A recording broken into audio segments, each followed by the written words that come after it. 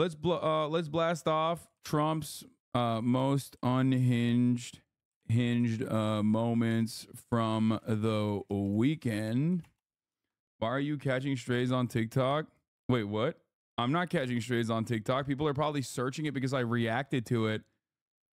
Uh, and and a lot of people enjoyed my reaction to it. I actually saw this TikTok on my for you page, and I looked through the comments, and people were talking about how fun it was watching it with me. But yeah, no, I don't catch. I don't catch that many.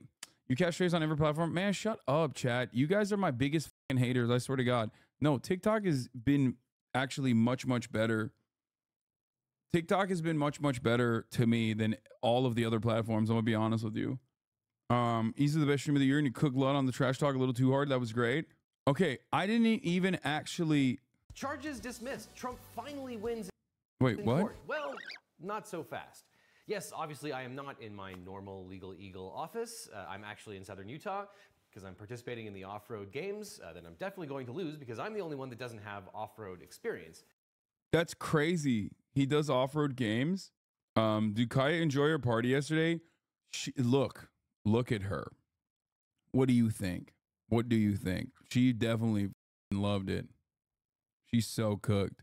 And this morning, I took her to the gym, and she also played in the gym for hours today as well. Anyway, Trump's most unhinged moments from the weekend. Putin wins election. Totally fair. Um, Don Lemon. Don Lemon v. Elon. And more news get in now. Okay. Let's do it. I'm a I'm chilling. I still can't believe she cheated right in front of her man. She's cold blooded. Yeah, she she cooked. Listen, I told you she is my thought daughter. Okay.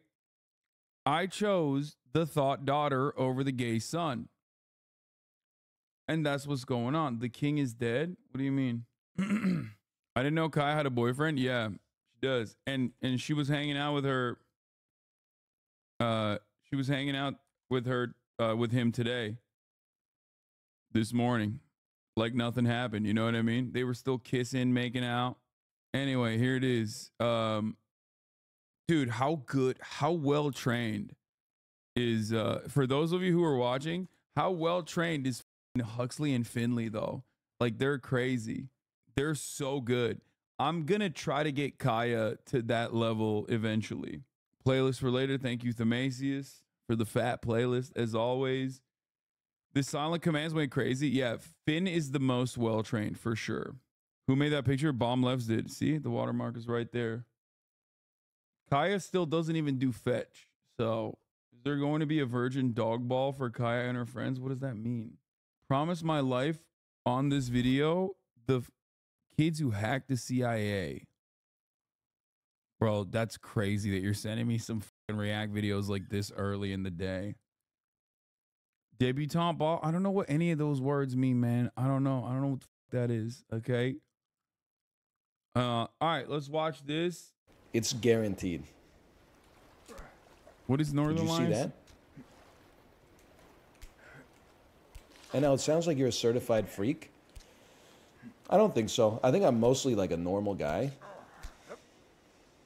Certainly, I wouldn't be a, a certified freak seven days a week. I think at, at some point you would just consider that, to be honest, to be kind of like exhausting. There's times you just want to like go This guy, bro, he's just calling me out again. He's calling all of us. Northernlion's saying he's not a certified freak seven days a week hurts. It hurts. It hurts to hear from the bald, okay? It really does. It hits different. You say, are you a lazy parent? First of all, my dog is one years old, okay? And she's already like better than uh, better trained than like 90% of dogs you've ever encountered. So no. I'm actually a very good parent and I'm in real aggro. Not as aggro as, as Michael is. but- That was crazy. Lay down. Bang.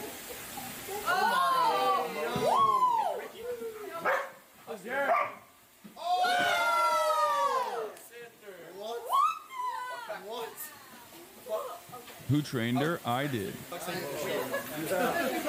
What the? I want to give Ken the dipper because I knew what was about to happen. Switch. It's a Belgian Lay down. Do the do the dead thing. Walk back. Walk back. Uh-uh, come. I know. Walk back. Walk back. Oh my god. Stay. Oh. Do the dart. Do the do the. Oh, you want to see him attack me? Okay, Huxley, walk back. Walk back. Walk back. This part is crazy. So, um, so there's something. There's something about it. I don't- we don't know why. We don't know why he's like that. You have to train maligators, or they will be out of control. Yeah. Um, maligator. That's funny.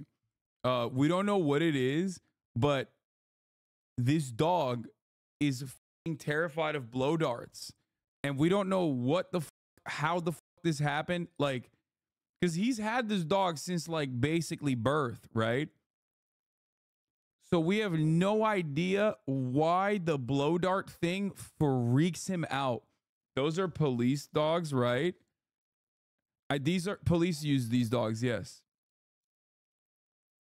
It's the frequency of the sound it makes. No, man. I think it's an epigenetic memory or something. Where the fuck are people using darts on Belgian Malinois? You know? How did you guys even find that out? I don't remember. But he died in Nam on his past life. No, the police don't because the police can't train him. Okay, first of all, the police do have to train them.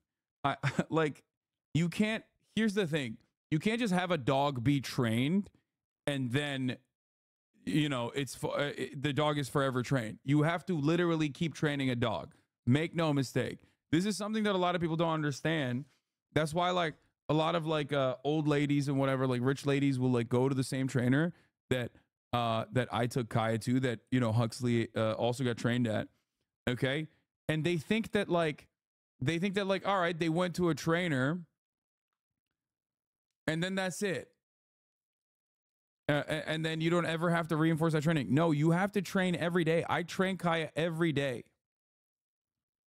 Anyway, they do train him to sniff out imaginary drugs. That's for sure. No, I'm talking about like other other uh, forms of training for the canine units. I'm sure they do a lot. Um, why did you clickbait with Foosley in the thumbnail on Fear End? We were doing a meme. I don't know if you guys figured it out or not. Same with my boys, but instead of fear, they think it's time to play when I do the fast exhale. Okay, anyway. Having a hard day at work? Yeah. It's real tough, dude. You don't know how bad it is. You know what I mean? You don't know how bad it is. Count your lucky stars. You get to work at the at the dick sucking factory every day. You know what I mean? Chatters will be like, I just got off a 35 hour shift sucking cock at the dick sucking factory. Let me tell you something. Let me tell you something, okay? Shit is hard. Okay? My jaw is busted. Without me, society would not run though. So I do it. I do it anyway. Uh, Bill Burr, Hassan Abihead. He's like George W. Bush. He goes, "We had a twenty trillion dollar surplus, and this guy started two non-ending wars and gave all the money to his friends and bankrupted us. You know, that's fucking way worse. But they all These guys are so interesting. That's all I'm all do their shit. Obama drone bombing mm-hmm. weddings. Clinton was the guy who did that shit with the bank that made some jerk off, you know, working at a subway qualified to get a loan for a four hundred thousand dollar house, which created that whole thing in two thousand eight. You just keep going back. I think the only like, the only like, uh, like truly like good person, like human being, I feel that's been president in my lifetime is Jimmy Carter. I mean, he's also bad 90s, policy still- wise too. you know, building houses for the homeless. He's out there swinging a hammer. Like everybody else just goes off and buys land that sits on an aquifer because they're like, you know, like I guess betting on global warming. I guess, is that what you do as a world leader? Um, and this guy's actually out there trying to help people. And um, it's funny. I remember when I was a kid, he was considered weak Um, that was the thing. Um, because he didn't, st- you know, start a war with Iran. I remember that because of the hostage thing, and he was able. Yeah, Carter was a piece of shit too, but like I think I think he's not wrong as far as like saying that he's like a good person IRL. Like I do legitimately believe Jimmy Carter I do legitimately believe that Jimmy Jimmy Carter in spite of like all the awful shit that he did in office just like every other goddamn American president is still very much like I think like a good person in real life. Not that it fucking matters. Like I think Obama is bad dude. I, I think Obama is a bad dude through and through. You know what I mean? Careerist, doesn't care about anything, in it for the clout, wants to make fucking podcasts, wants to be loved. Trump obviously is Trump. I'm not even gonna get into that, right?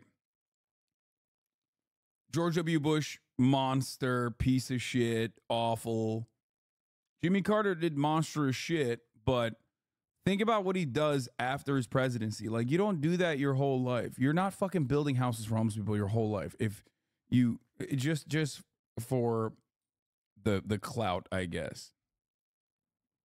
Maybe he's just scared of the afterlife. And he's like worried about all of the sins that he committed when he was president. You know what I mean? Like all the top of the hour ad breaks that I serve at the top of the hour and then tell you if you no longer want to see those ads, like that's going to come catching up to me by the time by the time I'm 99 if I make it out that, you know, if I make it alive that long, like all of that shit's going to haunt me for the rest of my life. Now obviously you don't want it to haunt you right now, so you subscribe for $5 or for free with a Twitch Prime, right? He's trying to carve an offset for his crimes. Barry Balls!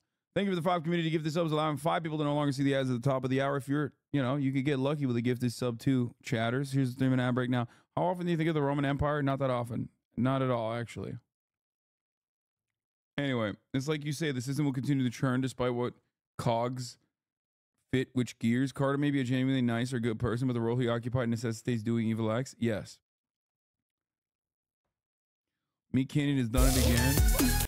Uh, what about? Uh, oh yeah, I, I, the Keizo one. Yeah, we'll watch this.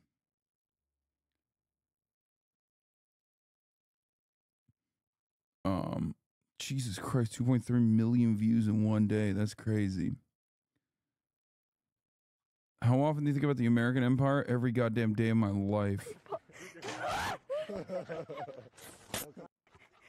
Hey, don't pull. Yo, she got hops, dude. Maya's got hops. Go to sleep. Seven days a week, you gotta unionize. That's true. That's hard work, man. It's not that hard, I guess. But I mean, there's worse jobs. Don't get me wrong. But like, you know, sometimes you might be like, I'm actually sleepy. Oh, you're right. The shortcut. The sh- Wow, dude. Talking about fucking unionizing my fan base. This guy's out of control, dude. Someone's got to put an end to this. Me can Canyon use clips of you on his new Papa Meat video too. Wait, really? What did he do a video on? Um, yeah, no union for the chat. Don't even fucking think about it. I will strike break, okay? You were an angry liberal, Lamau? Wait, what? What did he do? What? He made me a liberal. Fuck this guy, bro. I'm done with him. I'm unemployed. How do I unionize my favorite uh, my my fellow lazy millennials? Good luck. Help! My cousin got a Malinois puppy recently, and they live in a motherfucking small studio, and they got a baby on the way, and they're first time dog owners. What do you mean, bro? What is that? Like, what what can I possibly do? You you typed it out. You typed it out, and I eh, and I legitimately want to understand what happened in your mind. Like, what can I possibly do? Do you want me to buy your cousin's child? Do you want me to get the puppy out of their hands? Like, what what can I do? Do I buy them a house? Like, what what is this? What do you want? I'm buying the child. Fuck it, dude. That's right. That's right, dude. Sorry. Sorry to your cousin. I bought the nephew. You are nephewless. Okay? You fucked up. You fucked up. I bought the kid. Teach the dog how to sit. nope. Nope. Shouldn't have shouldn't have wrote that in the chat, dude. Real monkey's paw situation. The monkey's paw curls. Now I bought your nephew. Okay.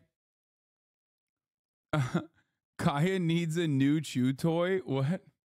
that watch this show, if they've learned anything, it's probably how to respect and how to have a long term healthy relationship with a woman that you can call your wife and have a family with. How do you get a wife, Ethan? Because my thing is like you, you're Bro, this is so funny. This question coming from them is funny because, like, I think he legitimately is asking. Okay. It's not even a joke. When he says, like, how do you get a wife, Ethan? I don't think he's like saying that as like a diss or owning him or anything. I think deep down inside, he literally is like, I don't know. Please tell me. Maybe I can find out. you're like just you're talking about the finish line. What about the race? Yeah. Yeah. You understand? Like you have to get Are to a either of certain you point married? where you can even identify a female that's worthy of marriage, of having a family with, etc. And unfortunately, in today's day and age, it's not that simple anymore. So we live in a very complex world where it's difficult to identify women that are marriage material. And most aren't. Simply, that's just what it is. So you guys I- are. right. If you What was guys' method is so good, why aren't you married? Again, Because men are the ones that decide if they want to get married. choice. So, so you choose not to be married. Yes, because men are the You're- one. We're the gatekeepers to marriage and commitment. Women are the gatekeepers to sex. Right. And um, you're 34, right, Myron? Yes. And um, do you plan on getting married someday? Do you think it's important? Eventually, the nuclear family is the backbone to any thriving society. Oh, thank you for saying that about me. Good job, but a lot of guys don't have that ability to find a woman that's worthy. You don't have that ability. I don't have that ability. You're not married. That's by choice. Oh, But you, but no, the ability to find a woman, you clearly don't have that ability. So you use the sugar daddy websites as dating sites, Yes, so we did a whole episode and on then this. you complain about women being shallow. I never complained about women being You shallow. say you say it's hard to find a good woman because they're they're motivated by material things and stuff, and yet you're seeking women specifically a certain type of woman. Obviously, that would be on a sugar daddy website. So it seems like you are confirming your biases by even going there to find women. What? Okay, so you Sorry, said a Walter. won- I'll I'll say. it. Do you want me to say it again slower? the thing is, like, the thing is, like, you can go on a sugar daddy like website or whatever, and like women who do that, right, can still objectively be phenomenal partners. The thing is, they're not going to be a phenomenal partner to you if you're looking for like a, a you know a real partnership. Because sorry you're the one who is setting the motherfucking precedent that it is transactional. That's it. That's their job. They're at work that's it. Like I, and i say this as someone who literally I, I say this as someone who has dated sex workers right? Like as you guys know sex workers phenomenal partners. It's just I didn't pay for it. You know what i mean?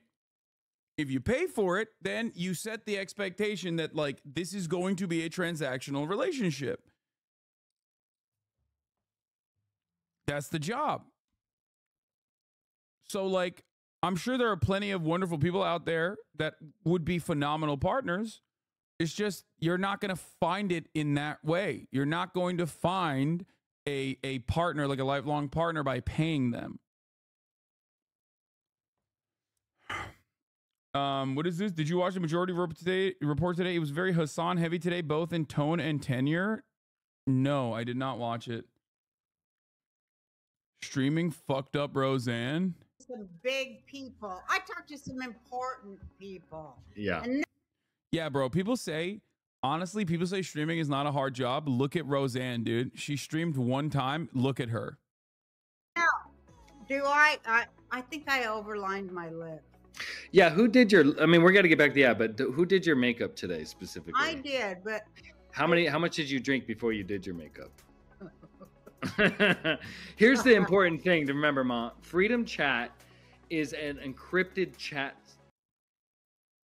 They glaze you up big time. Nice. Um, no shot Putin won. I bet my entire life savings into a bet online opposition candidate. I'm sorry, dude. GG's. Um, Sam Seder called you a fundraising juggernaut. Holy shit, that's awesome. This community is the best, though. We are the goats. Uh, we are the goats, not just at fundraising, but just in and we're the goats at many things. Okay, fundraising being one of them. God, I love this community. Ty is literally fucking snoring so goddamn hard. Like, actually, let me wait. Hold on. Maybe you can hear it. I'm gonna. Okay, that's uh. I it's just like you could probably hear it a little bit. I I saw, um, a little bit. Interviews about how shitty copyright and fair use is brought to my Reactgate. Wait, what is this? I don't know what that is. Her social battery's out from streaming and also hanging out with other pubs. Anyway, um, welcome to the. Yeah, we'll talk about Putin in a little bit. Weird story developing about mysterious death of Boeing whistleblower. Boeing whistleblower John Barnett was planning to drive home to Louisiana after his deposition on Friday, 3:30, before leaving before Boeing lawyers asked him to stay one more day to finish his testimony. His body was found on the morning of 3 9. That's crazy. All right. If you're retracted the four hours of news politics limit, please tell me now. Yeah, uh, I will. I uh I Oh, this morning by the way, I spent I spent the morning planning Australia. Okay. First Sydney, then Melbourne. Gonna go on a couple of fucking podcasts, yeah, hopefully. Gonna do a little bit of fucking IRL content, yeah. Trying to do a fucking desktop stream, right, from 6 a.m. Australia time to fucking to fucking 10 a.m. Australia time, and then fucking moving away from the desktop streams to doing IRL streams, right, in both Sydney and fucking uh and in Melbourne, right? Doing going out fucking real bogan style, right? Going fucking crazy with a couple VB long necks, yeah. Cracking back a couple VB long necks, yeah. Gonna be doing kangaroo fighting. Gonna be touching a bunch of kangaroos, right? Petting them. Petting a fucking sick cunts, right? Fighting them. Gonna go fucking give the old one two to the fucking emus, right? Fucking hell. It's so fortunate you don't talk like that. Yeah, a little bit of patting, a little bit of punching. Gonna be on your Xenogene shit? Yeah, gonna be on my fucking Xenogene sheet. My Xenogene sheet. Right. Uh, hope he goes on cold one and ball pig leak. No. Don't forget to stop by the CIA gift shop. Honestly, just go there and express your condolences since their princess is missing. Um, so the Robert Irwin thing we're working on, we don't know because he lives in like bumfuck nowhere. apparently, apparently to get to him is a 10 hour journey. Okay. Because Australia is pretty fucking large, right? It's like an entire continent. For those of you who don't know, Australia is a fucking continent, mate. Right? So it turns out not a lot of fucking high speed rail and nothing. Big places where a lot of people live, and then a whole bunch of nothing in the outback, right? Not much in the fucking middle. Turns out, if you live in bumfuck nowhere, right? 10 hours, gonna take quite a fucking long time to get there. So I might not do it, but we'll see. I said I'd fly him out. Said I'd fly him out, put him in a nice fucking hotel, right? And then on top of that, showed him that we raise a lot of money for the fucking conservation efforts, yeah, for Alveus, right? So we'll see if we could just fucking wine and dine him, grease his fucking wheels a little bit, give him some fucking money for the fucking conservations, right? Yeah, yeah. Austria is landlocked and small, though. Talking about fucking Straya, mate. Not Str- Austria, mate. Straya. Australia is not a continent. It's a lie made up by Australians to make you think it's not just an island because being on a continent sounds cooler than living on an island is definitely an it's definitely is definitely an island. Okay. Um VB long neck for breakfast? Yes, yes. If you're a fucking fair dinkum fucking full grown Aussie, this is what you'd have for breakfast, you fucking dog cunts. Yeah, I'm a fucking fair dinkum Phil Brown Aussie mate. Fucking hell. That's why I fucking slammed the fucking tall boys. For a brekkie. Please don't stick to the four. Dude, sheltered rosebud. Oh my god, take a fucking hour off. You are so goddamn annoying. How are you this annoying? You're literally triggering yourself ahead of time. This Mm. Ah! Every fucking day! Every fucking day with this fucking sick cunt! You're out of your fucking mind, mate! You're out of your fucking mind! Why are you fucking like this? I'm turning into a Bill Burr. Australian Bill Burr. Oh my god, I'm effing! Fuck me, mate! What the fuck is going on, mate? Fucking ruined my stream, mate.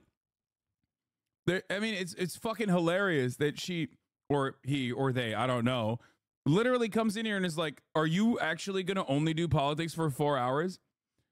And then I'm like, "Yes, I'm gonna only do politics for four hours." And then she goes, "Please don't do politics only for four hours." I love politics. And it's like, dude, are you fucking serious? Like, that's crazy.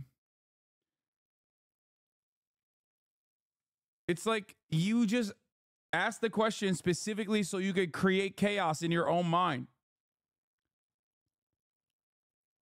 Anyway, your accent is making the AWS switch to Aussie servers. All right, let's let's fucking start with uh Putin. Let's start with Putin addressing Moscow crowds after claiming landslide Russian election victory. That's right. Surprising for absolutely no one. But a fair and balanced election nonetheless. Today's Verified Live. We start in Russia. Vladimir Putin has addressed thousands of people in Moscow's Red Square after claiming a landslide election win. The rally was held to mark the 10th anniversary of Russia's illegal annexation. See, he seems so happy. Chat, he seems so happy. Very obviously, very obviously, he's, uh, you know, this was unexpected for him. You know what I mean? Of Crimea was standing alongside three loyalist candidates who were allowed to run against him. President Putin said that hand in hand, Russians will move forward. Western countries have condemned the election as neither free nor fair. The US has just called it incredibly undemocratic. President Putin described the Donbass and other parts of Ukraine occupied by Russian forces as part of a new Russia. Let's have a listen. As for Novorossiya, Donbass, people, the people living there in those days of the Russian spring declared their desire to return to their native family. Their path back to homeland was much more difficult and tragic. Мы сделали это. But И we это did it. тоже большое And that, событие too, в истории нашего was a государства. great event in the Теперь history мы of our развиваемся и state. идем Now вместе, we are чувствуя локоть developing, друг we are друга. marching Вот together, только сегодня we feel утром the мне fellowship. доложили о том, что Just this восстановлена morning, Why does Putin's skin look so good though? Bro, he's got yo, leak your fucking routine, King. Come on. Come on. Leak it. It's bullshit. You're actually not wrong. Leak the fucking skincare routine. The girlies need to know, okay? The girlies that want to liberate Donbass need to know what your fucking skincare is, okay? Vampire facials. I was told that the railway. He's also in unimaginably wealthy. So I, I think that probably helps. From Rostov to Donetsk and Mariupol and Berdyansk has been restored. We will continue this work and soon railway carriages will move all the way to Sevastopol, offering another alternative road to uh, an Dude, I can't pay attention. God damn it. You guys are so fucking annoying with the fucking skincare thing. Now I can't even hear what he's saying. I'm literally looking at how he only has brow lines at this fucking age. He's like 72 years old. It's really messed up. You broke me. Now I can't even listen to him talk about why it's totally sick that like he's annexed uh, Ukrainian land. I can't even fucking pay attention now. I'm locked in on the skincare shit. How did he do it? It's I guess makeup, right? I watched a Mariupol documentary last night. It was really good and very insightful. Alternative to the Crimean Bridge. So together, arm in arm, we will go forward, and this, this action, not words, that is what makes us really stronger. I doubt he does surgery. For people saying surgery, no shot that man fucking. He is a freak, dude. You're out of your mind if you think he's like going under anesthesia just to get a fucking facelift or whatever. No shot. He doesn't trust nobody. No way. Maybe Botox, but even then, I don't think micro Botox kind of obvious. Probably micro Botox. I don't really know. He, he did um what do they call it? A preventative Botox. Bro's aging like a millennial. Yeah. Russian cosmetic injectables are next level. Have you seen Russian women? Um, he trains doctors from the crib with his money to make sure they're 100% loyal. I could see that. Maybe he's just got untapped adrenochrome, dude. Like Russian baby adrenochrome is like way different. You know what I mean? Well, that was Vladimir Putin in the last hour. Now, Ben Noble is an Associate Fellow for the Russia and Eurasia Programme at Chatham House. He told me why this election was so important for Vladimir Putin. the Kremlin. I thought, I thought he was going to say Putin said it. Putin was like, "This is most important election of lifetime." I know I say that last election, but this election most important election of lifetime, okay? We cannot let the other guys win. Please vote for me. I am lesser evil. I don't know who would be more evil in that situation, but uh, he'll just say it anyway will definitely point to the official result as proof that Putin is actively and enthusiastically supported by the vast majority of the population. But the picture is much more complex than that. Yes, there are some people who are ardent supporters of Putin, but there are also those that detest him. And more importantly, there's a large group in the middle with ambivalent feelings towards Putin. And the Kremlin has made sure that it presents to that large middle group Putin is the leader without alternative. So many people will have gone to the polls because of that. If not Putin, then who else? But also, we shouldn't forget the extraordinary propaganda in the country. And as I say, the Kremlin will demonstrate that Putin is. Like, I think it's Putin's situation is very similar to Turkey, but even worse. And it, this is like because Turkey is a NATO nation, Americans don't cover it in the same way. Whereas, like, Russia is a foreign adversary, so Americans do cover it very aggressively. But the reality is, like, he's popular. Okay. That's it. Like, and and obviously he's very unpopular for certain demographics, right? And it's perfectly understandable. But I would go so far as say Putin's probably more popular than fucking Erdogan is in Turkey. And Erdogan is always got that 51% locked in. Okay. Now, Russian elections are a little different because there is no real alternative, right? Like, because you will get thrown out of a building or die under mysterious circumstances, which he actually mentioned, which I think is crazy, right? Um, you know, you just die. Whereas in Turkey, you don't just die, you get ritualistically humiliated. You have no access to the media. You could barely fucking put together a coalition um, and and you know eke out like forty eight percent of the vote. But um overall like it's cope to say that he's not popular. You know what I mean?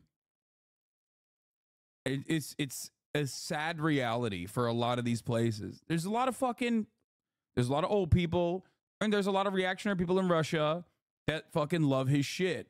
Just like there's a lot of old people and a lot of reactionary people in Turkey that love Recep Tayyip Erdogan. And we always like every election cycle, we just like fucking lose our minds and we're like, what the fuck is going on? What is going on? How is this possible? Like how how did this motherfucker win 51% again and again and again? Now that's different though. That's different. Tayyip Erdogan is different because Turkish elections are free, they're not fair.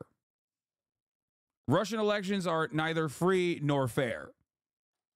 Does that make sense? Putin is not 87% popular, but I'd go so far say he's probably like, you know, 60 to 70% popular, like with the country among the voters. Like, that's not that big of a stretch, in my opinion. A lot of hogs, fellas, ladies, emperors, a lot of hogs. They respond to the strong leader shit. They do. Shit ton of hogs. Hogs are universal. For those of you who don't understand, hogs are universal. Who knows what the real number is? You aren't allowed to criticize at all. Are you are you making a um a fucking uh a joke about the Mr. Bonarelli? Now, it doesn't really matter because there's no real opposition. It, because like I mentioned, real opposition gets pee pee poofed, okay? Which is, you know, real aggro. Run a Putin popularity poll in the chat. Come to Brazil. We are literally about to jail our shitty former president like a real country. I know. Brazil is so sick, dude. It's so awesome. Oh God, Lula is ki- Lula is killing it, dude. Um. Anyway, what will happen after Putin dies? Bedlam, chaos, real bad. Um. So Putin's victory matches the independent third-party approval ratings. If Putin, which absolutely is not democratic, is more popular than Biden, what does that say about our democracy? I don't think you understand. I think that says more about, like, that is more of a problem with capitalism and democracy being completely incompatible concepts in general. A real a real question should be fucking the Chinese Communist Party and their consistent approval ratings by Western polling in comparison to like the American government's approval ratings. One is a democracy, the other is like a single party structure where there is localized democracy, but most of the uh, most of the dictation comes from top down. The reality of the matter is that if you have if you have theoretical democracy, but it's a capitalist one, it's just not going to fucking, it's just not going to be a real democracy at all. Um, comparing a single party structure to a two party structure, well, the Chinese government is a single party structure. The American government is a two party structure that creates, which is the most American, most capitalist thing uh, ever, the fallacy of like the false notion of choice. That's the that's the major difference, because ultimately it is still uniparty, it's still uniparty in the sense that like uh, you know look at the uh, democratic party pushing for incredibly right-wing immigration policies right now. Right? My statement is my belief is we should have we should have a parliamentary structure and we should have real democracy but you cannot have a real democracy under capitalism and what a lot of people start rec- uh, reckoning with, and they will recognize this more and more, especially with Chinese global uh, economic intervention, is that you can't really outcompete China because they command their entire economy. Real democracy is completely incompatible with capitalism. So we will arrive at the same exact fucking issue that we did 100 years ago, which is what do we prefer? How do we manage this? How do we how do we uh continue the capitalism but also simultaneously organize so that we can like compete against uh uh you know Chinese intervention for example? Well, we know how. History has shown us how. It's called fascism. And uh, we're at that proto fascist stage right now. I believe most people don't want democracy. They just want to be in charge, so they hide behind democracy while it's convenient.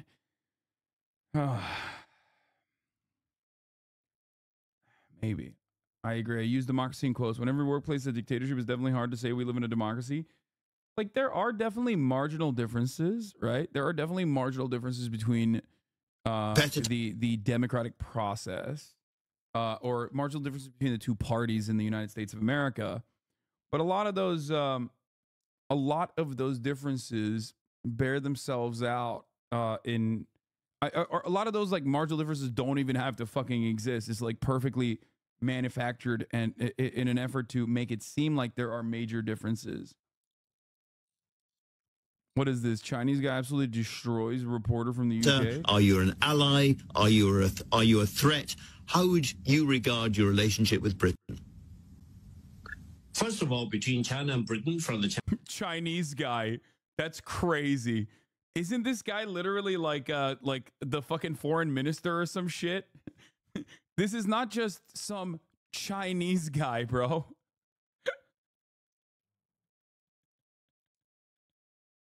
That's so funny.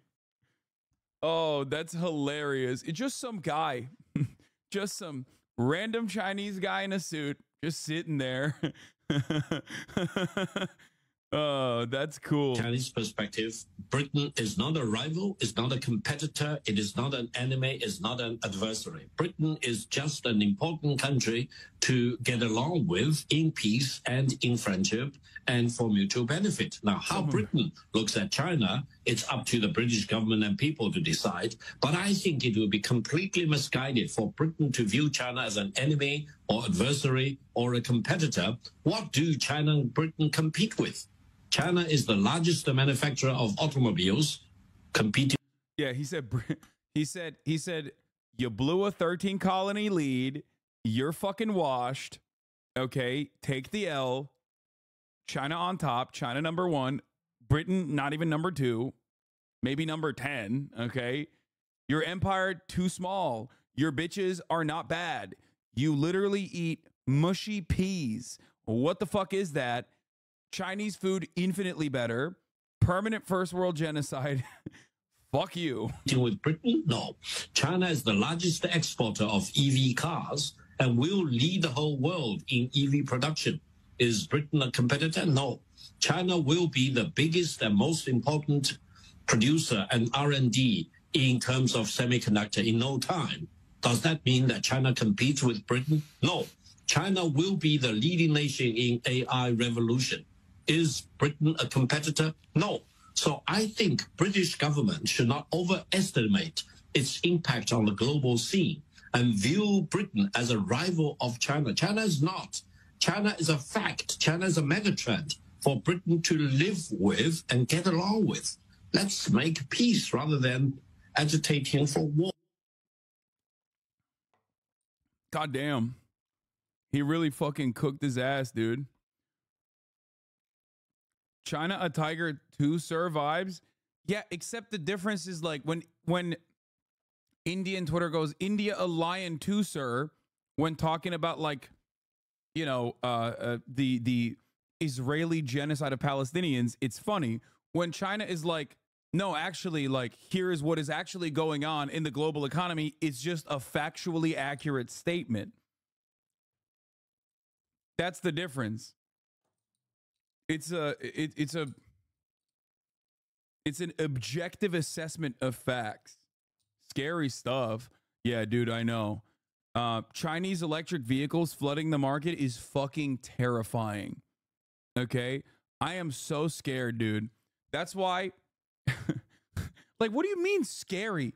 Like, people that have been purchasing Chinese manufactured products their entire lives, like from birth to death, you have only, you have the overwhelming majority of, of products that you have consumed have in some way, shape, or form touched the Chinese factory floor, and now you're fucking terrified of it? Like, what do you mean? Like, what do you, you are talking to me either on your fucking iPhone or either on your computer. Where the fuck do you think the parts were manufactured on either of those things? It's not scary. It, you've been conditioned into thinking it is scary. Okay? I love you, chatters. Please open up your mind a little bit. You have been conditioned into thinking this is a scary concept. Except, why is it scary? It's been happening your whole fucking life. Huh. Like, it wasn't scary in the 90s because China not a lion, okay? It's scary now because turns out we can't just like enslave the Chinese. Turns out they also are human beings. Turns out they have a pretty fucking big ass blossoming economy with uh, you know, and they have autonomy. That's what's scary. And the reality is, if you think like it's any different in Indonesia or any number of different like places that we exploit regularly in the global north, you're wrong. The real reason why it's scary is because, well, the slaves now own the factories. Okay. That's the fucking reason why it's scary. And they have a whole ass country. It's a actually good take too, by the way, with the with respect to like banning EVs and stuff, because we're gonna talk about Donald Trump talking about that over the weekend as well. He's like 100% tariffs. 100% tariffs on Chinese EVs uh, is what he was talking about. So we'll do that. Ford sees colossal competitive threat in low cost Chinese EVs. Yeah, I mean, it is real. This is a real issue. This is a real issue for Ford. It's a real issue for the UAW. Like that part, that aspect of it is 100% correct. Anyway, um, we'll get to that in a little bit, though. Let's uh, finish this Russia shit. Is still at the center of politics and therefore is going to be around for many years to come. So, what do you expect over the next six years? I think we're going to see an even more emboldened Putin. This Who do I support? UAW versus cheap uh, Chinese EV? Uh, UAW, 100%. Dude, guys, I am in favor of letting China do its own fucking thing. Leave it alone. I'm also in favor of American labor. Do you understand? I literally do not utilize Chinese factories when doing my own merchandise, which is coming out this week, by the way. Be on the lookout. The next line is coming out. Okay. What do I do? I use American labor union shops for my merchandise. Why do I do it? Because I put my money where my motherfucking mouth is. Okay. I am a supporter of unionized labor in the United States of America. As far as our foreign policy goes, yeah, I don't think we should try to fuck their bag up. I don't think we should try to destroy them.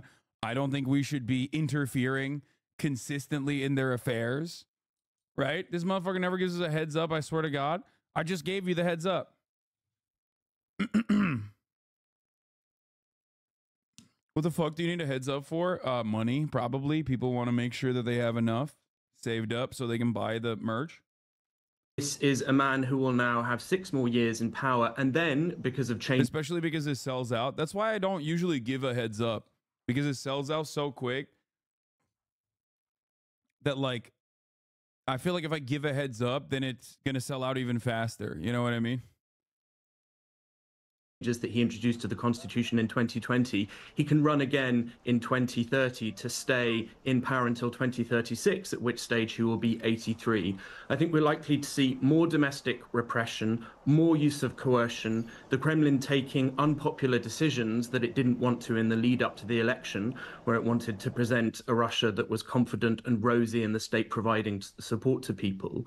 So it's going to be an even uglier russia domestically but also emboldened when it comes to the ongoing war against Ukraine. You talk about making unpopular decisions. I mean, there have been huge losses in this war for Russia, upwards of 300,000 people. Uh, given uh, he has uh, said what he said about uh, the war and what lies ahead, does it give him scope also to implement full mobilization there in Russia? That is certainly the question that many people are grappling with. But I think it's not certain that Putin will, now that he has been re elected, call a full mobilization. And the reason is because when they called the partial mobilization in September 2022, it was so deeply unpopular, Putin's own approval ratings took a hit that the Kremlin just probably won't want to do that. Of course, it's difficult to predict at this stage, but I think it's more likely that the Kremlin will find uh, steps, it will take steps in order to find new manpower to feed the voracious appetite of the war machine in Russia through things that go under the radar. So, recruiting people in different ways without the big policy announcement that could be deeply unpopular of a full mobilization. Putin calls U.S. undemocratic and addresses Navalny death after Russian election win. This is what I was talking about earlier, where he's just fucking flexing.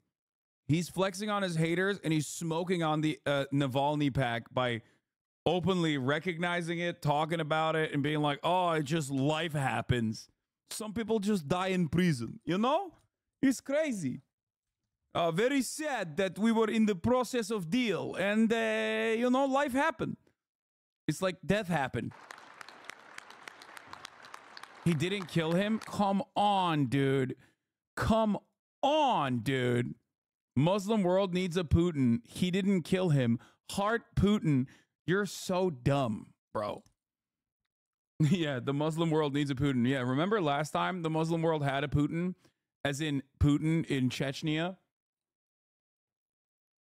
yeah, that went really well. He did really well there to the Muslims. He did really well by the Mus- uh, Muslims there.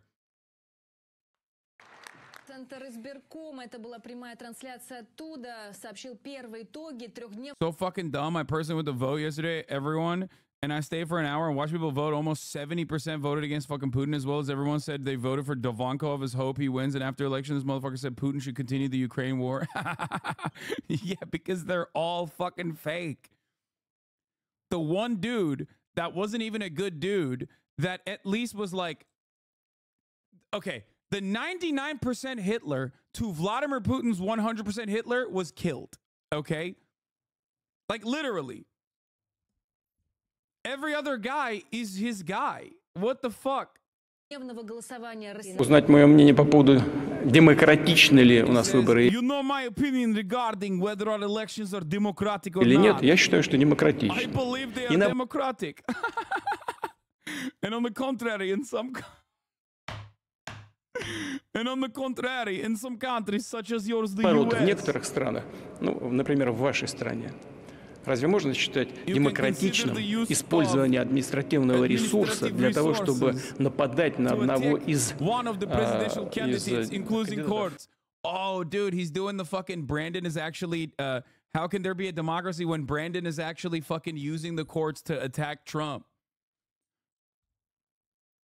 Prigozhin was on a Boeing 737, buddy, but keep spreading that Zell Disney as of Ganda, as of Aganda.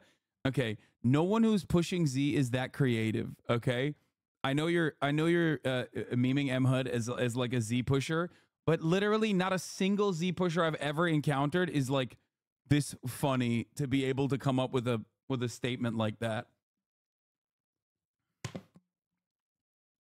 Hassan really clueless how dog shit Russia is with Putin. Navalny would be a million percent better. Oh my god. Oh my god. Oh my god. Brother, Russia is so goddamn close in like it- Russia is such a perfect analog for Turkey, both in the authoritarian strongmen leading. I know. I didn't love the coalition against Recep Tayyip Erdogan, but I certainly was advocating for him. I get it. Okay, that's why I said Navalny would be the 99% Hitler to Putin's 100% Hitler. Putler. I didn't say Putin is good. I did say Navalny would be better than Putin. Anyway, why why you don't speak about the genocide Israel's doing and the support of US? Putin is not the problema. Yes, famously, I never talk about genocide Israel's doing. Number one defender of Israel here. Hello. Как дела, как тебя зовут? What's up? My name is Hassan. It's a fake Muslim name I'd use to throw you off because I love Israel. That's because they're all like that has guy. Dude can't even remember which race he claims to be. That's just normal Balkan behavior, though. Um, Navalny, the neo-Nazi, better? Are you kidding me? Oh God, this is the worst liberal take you got, dude. Come on, come on, come on, come on, come on, come on, come on, come on. I know, I know he was a he was a neo-Nazi. Okay, I know. It is ridiculous to act like Vladimir Putin is doing anything good. Like there is no it just it's so fucking stupid what's better neo or nazi yeah it's just like no by the way not a single person is like voting for navalny because they're like i i mean i'm sure there was some neo-nazis or whatever but like i hope you guys understand this is a if there was a race between navalny and fucking vladimir putin it would be a race between two CIA adjacent people, okay? Two capitalist, incredibly right wing, ultra nationalist, CIA adjacent motherfuckers duking it out with one another. What are you talking about? Like, how do you think Putin came to power? It's so stupid. This argument is so dumb. Navalny would have broken up Russia and there'd be a civil war and millions dead Russia due to his racism. So you're wrong on that. Voting for Navalny is voting against Putin. That's all. Exactly. It's one of those things where it's like people know that it's not going to work. It's not going to happen. Nobody ain't nobody's like thinking that Navalny's going to win. It's more so to be like, this is the only thing. This is the only thing I can vote against. Stop saying you dislike Putin and say that you really mean you hate multipolarity. Yes, I hate multipolarity. That's why everyone always says I'm sucking Xi Jinping's cock, famously, and and say that I'm an asset for the state of China, because I, yeah, Navalny is the Gulen of Russia. yeah, I, I think that's a relatively fair assessment. I don't think that's like wrong. That's why I said Vladimir Putin is still popular as a figure ultimately. I do not think Vladimir Putin is a good guy. Just like I don't think Recep Tayyip Erdogan is a good guy. The people of Russia deserve better leadership. They do not have better leadership. So at the moment, what they had was a protest vote against Vladimir Putin. That protest vote against Vladimir Putin was killed. These are all, in my opinion, I mean, some of this is obviously assessments that I'm making that uh, we don't know the full uh, reality of, but I think it's a relatively educated take to, you know, assume that he was killed. Oh. A protest vote that was a fucking CIA puppet, Lamau. I don't think you understand. Vladimir, what do you think Vladimir Putin's background is? Like, I don't know where this where where this notion comes from that like you think Vladimir Putin is somehow like not a capitalist and and also not like uh, an intelligence asset from the jump. The only difference is he is positioned against the United States. That's it. On certain issues. The U.S. supported a coup in Ukraine that threw out the Democratic. leader. Oh my God. Okay. В, в президенты Соединенных Штатов, используя в том числе и судебные инстанции. To attack one presidential. We have no preference for any of the candidates for the president of the United States of America. Из кандидатов в президенты Соединенных Штатов Америки. Мы будем работать We will work with anyone who voters the voters trust. Но использование But the use of administrative resources of the judicial Ну это system. же стало просто смешным. Well, it is simply И become позором disgrace на to the весь whole мир world для for the Соединенных United Штатов для States. вашей демократической так называемой в кавычках системы. Я имею все основания I полагать, have every reason to believe that today we do not observe any democracy in your country, at least during the election processes. некоторых странах Запада, In some Western countries, including the USA. Поэтому примите ответную шайбу. Putin is a former KGB who compares himself to fucking Peter the Great. Can Chad be rational not act like he's some hero just because the U.S. West isn't a fan of him? I don't know if there's anyone who's like unironically pushing Z. I feel like I make fun of them so much that like, I mean, maybe there are some people who like think he's like secretly a a communist.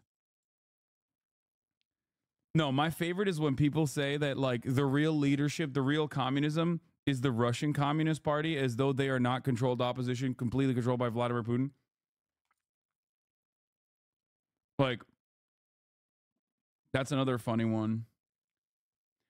I think ultimately Putin, just like every other fucking country on the planet, has the capacity to not do evil and chooses to do evil shit regardless for capitalist interests, for personal interests. And uh, especially in the process of like uh, a continued invasion with death and destruction that befalls the Ukrainian population, it's fucking ridiculous objectively to say that he is a good dude in any meaningful capacity because he's not. Okay? He's uh, objectively bad when it comes to domestic treatment uh, of Russian citizens, and he's objectively bad when it comes to his foreign policy. Uh, it, it's ridiculous. Pushing Z is like the people that defend Putin. Z is uh, is on the side of the tanks uh, that invaded Ukraine. It means like uh, it's it's just the direction I think, right? Uh, the direction of the invasion, like it, it signified where the uh, tanks were going, like where the Zapad. Yeah, Zapad. I don't push Z, I push P. If you know what I mean. Yeah. Um. So let's not pretend like Ukraine is not corrupt as hell. Yes, of, of course. I've talked about how corrupt Ukraine is many, many times over, which is part of the reason why people say I'm a Vladimir Putin defender. Except it doesn't matter. Your corruption, it does not fucking matter when you're being invaded. Okay? Remember this guy, the Z guy? Nothing is more convincing that Russia's elections are fair and balanced than featuring an American accused of running a sex cult that exploited people with addiction to satisfy a spanking fetish on national television, praising it. Oh, dude, isn't this guy like a? Isn't this guy like a like a fucking like a crazy uh uh? What the fuck is this guy? He's like a commie, isn't he? But uh, oh, Ma- Caleb Maupin. He's like Nazbol. He's not even a commie. I think he's like or a LaRouchite, maybe. Yeah, I don't fucking know. I don't know. I don't care. Uh, These guys are insane. He's the spanky tanky. Yeah, that makes so much sense. God.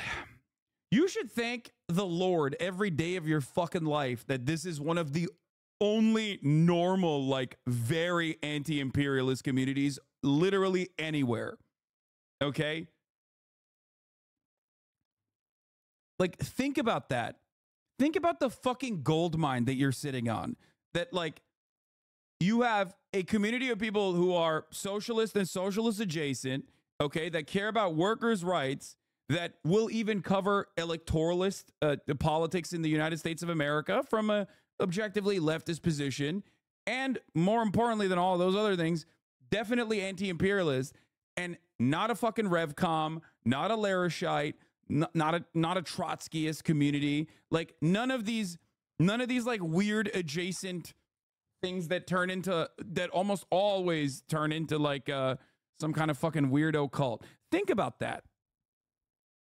Think about how lucky you are that the only inconvenience is the three minute ad break at the top of the fucking hour. Many of you don't even know what any of these adjacent things are because you haven't spent enough time in like leftist circles or left book or even organizing or attending protests, I guess, where you see the smelly guys. Okay? The crusty guys. It's good that you don't know any of that shit. Don't worry. You don't need to. Maupin and these Z losers, Hinkle Tinkle, Samira Khan went to Russia and met with a literal Nazi Alexander Dugin. Yeah. Think about the only issue being the top of the hour ad break. Think about that. Now, you don't have to think about it as long as you subscribe. Thinking a white guy from Cali knows best about black liberation. you think I think you're talking about Bob Avakian, right? You're not talking about me. Anyway, here's the three minute ad break now. Santon Kishon, thank you for the five gifted uh, subs. Yeah, the rather right wing minded side of the communist community is a rabbit hole you don't want to go down. You cannot be a right wing communist. Okay? It is ridiculous. Nationalism is poison. Nationalism is anti materialist. You cannot have a nationalistic framing while simultaneously advocating for anything that is inherently Marxist. Okay? That's it. Anyone that fucking eats the the anyone that drinks from that Kool-Aid inevitably becomes more of a nationalist and infinitely less of a socialist, okay? That's it.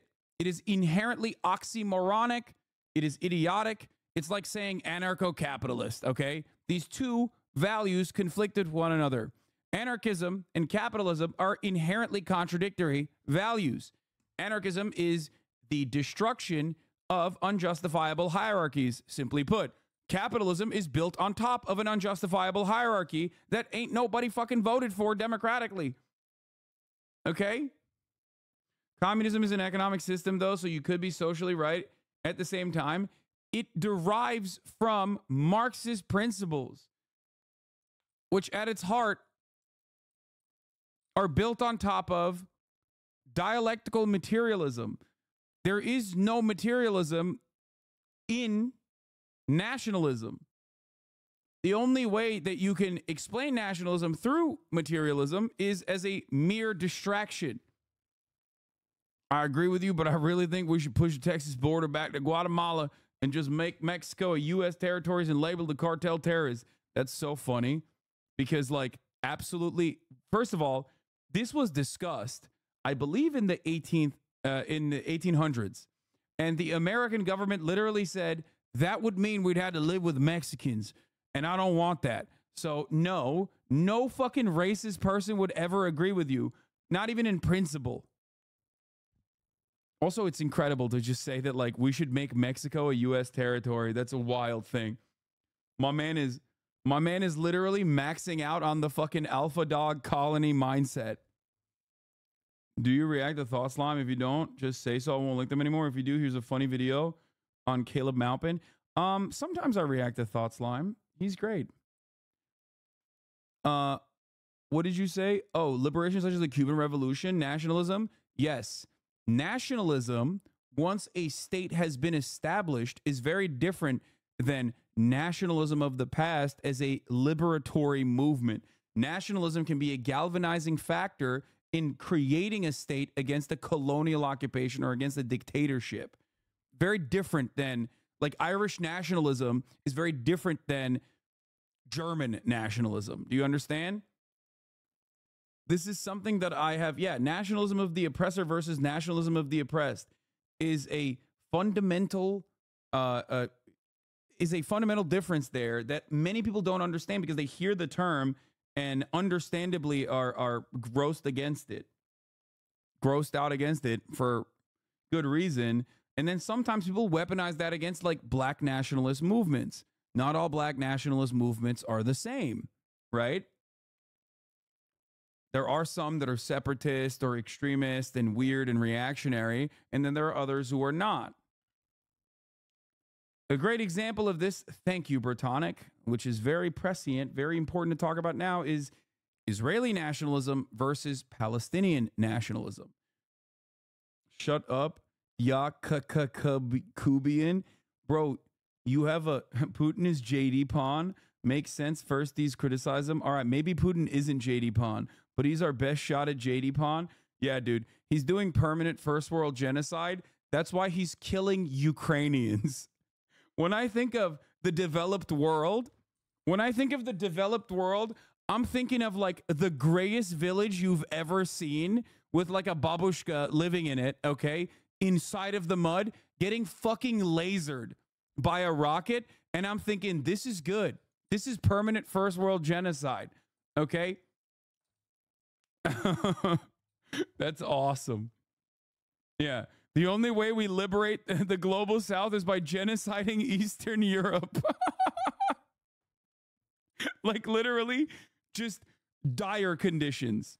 People living basically in like developing nation conditions, okay? Inside of like one step elevated from a fucking mud hut. We should just keep killing those guys instead of, uh, yeah, that's how to do permanent first world genocide.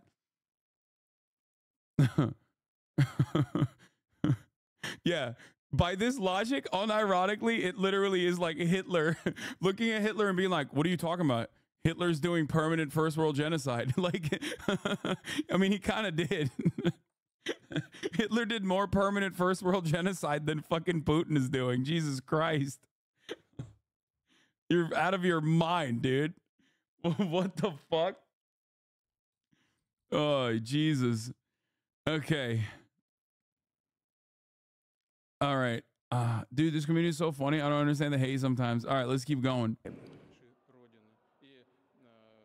Putin also made his first public comments on the death of opposition leader Navalny, claiming he had agreed to a prisoner swap before Navalny's sudden death in the Arctic prison.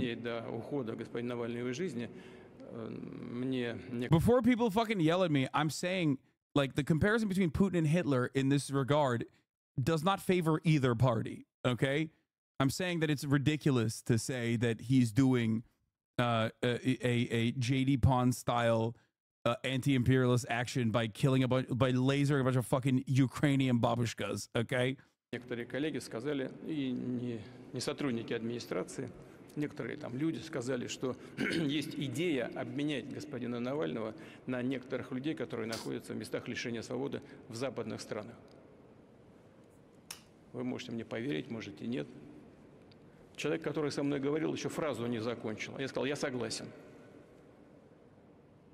Но, к сожалению, вот э, случилось то, что случилось. Yeah, unfortunately, what happened happened. Только при одном условии сказал, что But мы there was only one condition. We would exchange him, возвращался, пускай там сидит. ну вот и все. but he wouldn't come А, back. но Let him sit there. Ничего здесь That is all, but it happens. There's Uh, nothing you can do about it. Вот э, такова жизнь. This can't be Putin. This must be a clone. Dude, another another incredible analog between Putin and Erdogan is the constant like he's dying memes. This happens literally in every country with like an authoritarian strongman that has existed in perpetuity. Actually, really interesting. I don't know if there's a Chinese version of this with Xi Jinping. I, don't know. I, I've never heard it from the netizens. Maybe they have a similar thing, but I think it's more of a testament to his popularity in comparison to these guys' popularity. Russians have been saying, yeah, Putin has been cloned for like 10 years now. Russians have been saying Putin's been cloned and he's gonna die for 10 fucking years. Same with Recep Tayyip Erdogan. Recep Tayyip Erdogan is on the is on the edge of cancer. Okay. Recep Tayyip Erdogan is on the edge of cancer for as long as I have lived. Do you understand? This man, according to the Turkish people who are anti Erdogan, is always dying. Okay. He's going to die like tomorrow. He's going to die tomorrow. He's going to die tomorrow. It's just, I've given up. I've completely given up on that meme from, yeah, az kaldı abi. Birazdan, birazdan. Trust me, bro. Bro, he's dying, bro. You don't understand, bro. It's hopium. I'm to tell you right now, evil never dies. Okay. Following breaking news just coming into CNN right now, attorneys These are the clones. Educate President Donald yourself. Trump say they're unable, unable.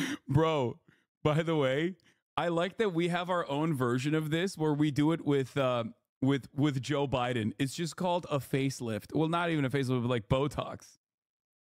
Okay. this is called aging. For those of you who don't know, it's called aging gracefully, mind you. Okay, gracefully. I think he's created an organic system that the Chinese people feel and know will exist beyond Xi, whereas the Russian population knows uh, they are fucked. Yeah, after Putin, they are fucked. The Turkey Russia situation is different. If those countries, there's a very real subconscious fear that when the strong man dies, everything will fall into a power vacuum. I think China is different because there is general faith in the party structure outside of Xi. Yes, but I think in Turkey, there is also, I don't think Turkey is the same as Russia in the sense that, like, post Erdogan, Turkey fucking collapses. I don't think so. But post post Putin, Russia w- is fucked. Like there is still a semblance of a real structure as a consequence of the parliamentary system, with which Erdogan obviously changed into a presidential one. But like still, there is a parliament. There is a um. Also, I don't know how further Turkey could collapse. The economy is in the dumps permanently. And Turkey's always been like relatively 50 50. That's why I always say Turkish elections are unfair, but they are still free. Whereas in Russia, the elections are both unfair and also not free, right? It sucks, but that is a major difference. Do you think socialists in Russia could seize the power vacuum and Putin bites the dust? No, dude. No. Like post Putin Russia is like I'm talking Haiti style, just like criminal elements. What is unfair versus not free? Unfair means like media, media blackouts, censorship, propaganda, things like that. Whereas like unfree would imply that like you're jailing or literally executing your opponents or also not allowing people to vote and and uh you know like instilling fear in the minds of people that vote against you. In Turkey, it's unfair because of the things I just mentioned, a lot of censorship, uh, you know, a lot just like Recep Tayyip Erdogan literally fucking did a national broadcast day before the election that was aired on every single platform.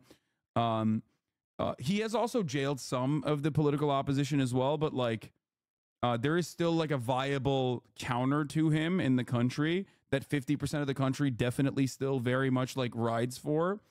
Um, whereas, uh, what else? What else Erdogan does? Oh, Erdogan also has like a very corrupt, permanently calcified uh, institutional control where, um, like, that that basically recycles or or reignites uh, a, a, genuine uh, a, a, genuine amount of like support through the party structure.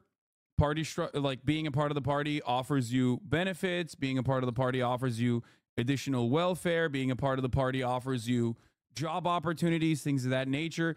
And when you control the country for like fucking you know 20 30 years that's how you reinforce that's how you reinforce your your real support he has also many Turks in Germany who voted for him. Overrated impact. Eh, I, I agree. That's just whatever. Turkey's press freedom, according to RSF. Yeah, it's it's in the fucking dumpies, dude. Tur- there's no fucking press freedom. Yeah. This is the future president of Russia.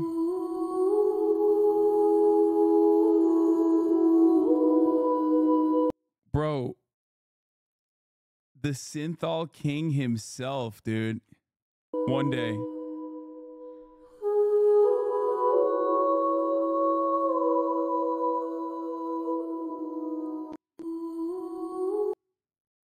It's not synthol. That's natural. My arms look the same. Bro, I feel like he put synthol in his cheeks too. I don't know what the fuck he did. Is he natty? Yeah, as nat, he's a natty baddie. Emhud thinks he actually did steroids and then didn't like work out enough. So then he just went the next route, which is synthol. I don't even know if he actually ever did steroids. Emhud believes it, so I believe it as well. Emhud follows this man religiously. He publicly did that in 2017. Oh, okay. Eh, you see, Emhud is never wrong.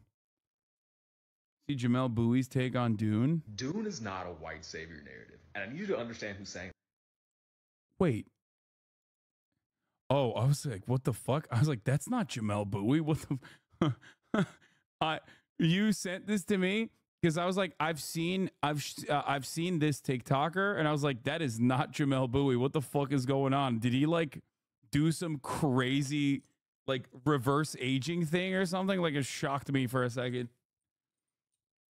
No, no, no. He's just doing a stitch. Friend of the show, Jamelle Bouie. This is this is Jamelle Bouie. All right. Um, where the fuck were we? Oh, we were talking about Pootie Poo. And then we okay. We're moving on from Pootie Poo to uh America's very own strongman, authoritarian, sexy ass leader. And I'm not talking about Joseph Brandon, if you know what I'm saying. We're talking about Donald Trump. Broke boy Donald Trump. If you're a broke boy, just say so. Trump is unable to make a $464 million bond in his civil fraud case. And because he's broke, that's it. He is not buying the, the Pokemon cookies, okay, anytime soon. Able to get a bond to pay the $464 million fraud judgment, calling it, I'm quoting now, a practical impossibility. CNN's Kara Scannell is joining us from New York right now. Kara, what can you tell us? Uh, Trump should get his money up and not his funny up. He's been doing, he's been getting his funny up too much. Walk us through what this means. So Trump's lawyers have informed the appeals court pee. today that they are unable to get anybody, an insurance company, an underwriter, to help them post this bond, the $454 million for Trump alone, the rest to cover his sons. And what they say is that they've approached 30 insurance underwriters, some of these big, gigantic companies that you know, and they say that none of them are willing to do it. As you said, they're calling it a practical impossibility. You know, one of the reasons that they say is an issue here is that some of these insurance companies companies have internal limits that they won't issue a bond for more than $100 million. And some of the biggest names that you can think of in the insurance world also will not underwrite a bond and take property, which is what Trump has to put up. They want cash, they want securities, stocks, bonds, something that is what's a liquid, easy to sell asset. They don't want property. And so that is the problem that Trump has run into in trying to come up with this massive amount of money, half a billion dollars. You know, these bond companies, too, they also want their own uh, I guess you could call it, a, you know, insurance on it. They want extra money than just what the bond is, so that they can, you know, cover this as it as it plays out. This bond is to uh, stop the New York Attorney General's office from seizing the property while the appeal of the judgment and the case goes forward. So they've been asking the the Trump's team has been asking the appeals court to allow them to not have to post this bond um, until the appeal is over. They're saying that Trump has properties that are worth more than the judgment in this case case. Uh, it's just something that the insurance companies won't take. So they're saying that the attorney general's team um, will be able to collect uh, on this judgment if it stands, and they could do so by seizing some of the properties, which the attorney general's office said they're ready to do. But they're still asking the appeals court here for more time, and that's why we're seeing this new information come out today, saying they're unable to post the bond of this magnitude. They can't get anyone to underwrite it because it is just a, a, a large amount, and particularly a large amount for one individual. Wolf. So, Kara, what comes next in this process? So now it is before the appeals court. There's been briefing on this. It's up to this New York State appeals court to decide whether to allow Trump to move forward with the appeal and stop the attorney general's office from seizing properties to give them this time to, to have the court case play out. If the court says that Trump um, does not get this stay, Trump's side is asking them to allow them to put their ruling on hold so they can appeal to People saying Elon's going to bail him out with what money, dog? With what money? How's Elon going to bail him out? Elon should bail himself out first. What's he what's he got? You think he's got 464 million just laying around? They're having a broke off, dude. Wait, so Trump did need a GoFundMe? Yes. Yeah, this is part of the new merch that I'm wearing. Yes to the highest appeals court in New York State. That those will be decisions for the New York appeals court to decide. And of course, the New York Attorney General's office. Like people saying Elon has billions of Tesla stock. Okay, you think he's going to sell Tesla stock? Like that's insane. Or you think at at the current interest rates that exist, Elon is going to leverage his Tesla stock to get a fucking to get a a a loan that is half a billion dollars to bail Donald Trump out, that is insane. Buying a president is one thing, but I feel like, you know, it's a little difficult to do here. Pose this. They want the appeals court to allow them to enforce the injunction now if Trump cannot post that bond. Well, all right, Kara, we'll stay in close touch with you. We'll see what happens. A significant develop, of development indeed. Hey, Renato, let's start with you because you've represented you've represented rather and prosecuted large real estate developers before. What happens if they can't get a bond? Well, if they can't get a bond, uh, collection efforts go forward, which uh, first of all can be expensive. Okay, it's a there's a court process where uh, the the New York Attorney General is going to be trying to collect that judgment. Could potentially put liens on properties. Uh, in, in, you know, essentially entering that order into uh, uh, various other proceedings. For and in the when they put liens on the properties, they're definitely not using the Trump valuations on the properties. Come on, I don't get it. Just put a lien on fucking Mar-a-Lago. You know what I mean? That's worth like what, ten billion dollars according to Donald Trump. for example, so that would potentially be an issue for Trump. Uh, he doesn't, if he's already got uh, his real estate highly encumbered with loans and so on, having to deal with collection efforts and pay attorneys to fight off collection efforts is yet another problem that he doesn't want to have to deal with. And his attorneys say that uh, he approached 30 underwriters to back the bond. Does that make sense to you that they would all say no? Well, in my experience, um, real estate developers tend to be very highly illiquid. They tend to be highly leveraged. They tend to have all sorts of loans. They, you know, they might have a revolving line of credit. They may have uh, various loans and personal guarantees out there. Um, however, uh, what I will say is that you know this is not a complete surprise to Donald Trump. It's not like the New York Attorney General's case happened over the course of minutes. It happened over the course of years. Uh, and Trump could anticipate a potential judgment.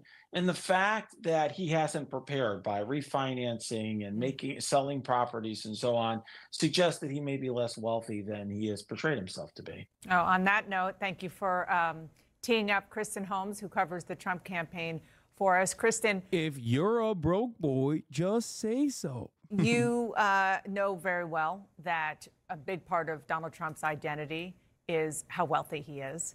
And the idea that he can't pay this money, I mean, it wouldn't be out of this uh, world for you or I or most normal people not to pay half a billion dollars and not to have that lying around in our bank account. But it might be different when it comes to how Donald Trump thinks he's perceived. Yeah, and Jen, I just want to start. support, Biden or Trump? RFK, baby by saying that you should know that there are a lot of Trump allies who watch your show, and they've been texting me with the argument. RFK Jesse the Body Ventura ticket. That's right. Jesse the Body Ventura is going to be the president after after he's RFK's vice president of one most billionaires are not liquid. This right. is not that surprising. The other argument saying this is about the insurance companies, this insane amount, this is their words, not mine, in terms of the bond. These insurance companies can't get that much money, that much collateral. So there is an argument here among Trump world. But as you know, Donald Trump himself has painted himself, his entire image, not just politically, but also before that, his brand on being a billionaire. And that is mm-hmm. why this case was so personal for him in the first place, was the idea that everything he had built was essentially on a lie, was it was fraudulent, that he wasn't really this rich, that he had inflated those numbers. That's why you saw him so fascinated and so intent on being part of this case, sitting in that courtroom, listening to these various witnesses, because it is to his personal brand. It also goes to his political brand. This idea that I built myself up as a billionaire and I could do that for you too goes away if you can't afford to pay this kind of money. And let me just go back to Renato on this because you did mention uh, that most real estate developers are not liquid. They can't just write a half a billion dollar check. I think that is probably true for most billionaires. Damn, dude, they're just flexing on him. They are currently flexing on Donald Trump. They're calling him a broke bitch, dude. Chill. That's fucked up. Though I don't certainly have that experience to really know firsthand. Uh, but if they have assets, the question is you kind of said maybe if he prepared, he would start to sell things off. I mean, is that a, a real possibility that he might have to do that? I will just say that in other circumstances, other matters that I've handled, uh, that is what's happened. Essentially, uh, real estate developers refinance properties, sell properties, do what they have to do to get cash. Now, uh, candidly, I've never been in a case where a real estate developer needed uh, hundreds and hundreds and hundreds of millions. It's only been in the tens of millions, uh, but nonetheless, for those real estate developers, it was a very significant ask, right, to come up with that mm-hmm. kind of money. If you have hundred, oh, if your net worth is in the hundreds of millions, and so, but for Donald Trump, nonetheless, he could have anticipated this and sold a property in the midst of the New York Attorney General's proceeding. And I really would say one of two things is true here: either he doesn't have the wealth that he suggests he has, or he didn't plan whatsoever. Uh, you know, was so blind to what was occurring that he essentially left himself in a position where now uh, he's going to incur significant costs and hassle and and a disruption to his business that was unnecessary. All right, short time ago in the White House. Well, 10 million bond is a small bean developer. All right. Yeah, he's he's a broke boy. He's been a broke boy. He needs to get his money up. He needs to not get his funny up, but he's been getting his funny up too hard. All right, Peter Doocy pressed the White House on Biden's flashes of anger, which I love. Fox News went so quickly on the defensive. Okay? For months and months, they've been obviously running the understandable narrative that Biden is losing it. He's demented, he's old, he's senile, he's fragile. Sleepy Joe Biden. It's correct. A lot of Americans agree with Fox News on this issue. Okay? However, since the SOTU, State of the Union, Brandon has been a little bit more dynamic. And I have to tell you that as an objective arbiter of news, okay, of truth and democracy. So, in the interest of doing my journalistic due diligence, I will tell you, I will tell you the truth. Joe Biden has been definitely more dynamic since the State of the Union. He has started campaigning. Okay. They put him on that liquid cocaine, crack cocaine, whatever the fuck they're putting him on, but that shit's been working. Now, now, having said that, so what do the Republicans do? They fucking tuck their tail and they show their belly like a submissive little puppy. Okay? Immediately they turn on the defensive and they start crying about how angry he is. He's such an angry president and I'm a I'm a widow baby and I'm crying about how angry he is. Take a look. House briefing our Peter Doocy asked Jake Sullivan, the national security advisor, about reports that President Biden, because of the fact that he is facing some opposition from his own voters in many battleground states, has flashes of anger over his sagging poll numbers. Us the exact date of the first day you streamed or you're senile. Easy. 25th of March 2018. Also, you're ridiculous if you don't think that Biden is senile you also have eaten the propaganda from um, liberal mainstream media, making it seem like Biden actually was totally clear and coherent on that uh, on that Robert Hur deposition. He was not. You just read the headlines from mainstream media and the false framing presented by mainstream media and immediately ran with that narrative. Okay? He didn't. He wasn't clear or coherent in it. We looked through the actual fucking statements. And losing voters. Listen to this exchange. A report that when President Biden was told his handling of the war between Israel and Hamas was starting to affect his poll numbers, uh, the quote is he began to shout and swear. So when he does that, is he shouting and swearing about Netanyahu or about Hamas or about his poll numbers? This is the when did you stop beating your spouse question because I don't think he ever did that. Um, and so, well, you, you use that as the premise of your question, which is when he does that. He, I've never seen him do that, shout or swear in response to that. So, from my perspective, um, that uh, particular report is not correct. Hey, Sean Hannity here. He's so dynamic, though, behind closed out. doors. Vladimir Putin reelected. Trump calls January 6 defendants hostages and gets a rebuke from Michael Pence, who is fake. So there's also a separate drama. Hey, I'm sorry for being annoying. I understand why you time me out. I love you in this community and I hope you don't hate me. I just have really stressful weeks in front of me because I have to give two presentations and that gives me a lot of anxiety. Happy to be a part of the community. Sheltered Rosebud is back. I only gave him an hour off. Can't wait to give them a week off three hours from now when I'm finally done covering politics and they come back in to be like, uh, I can't believe you're done covering politics. This is really fucked up.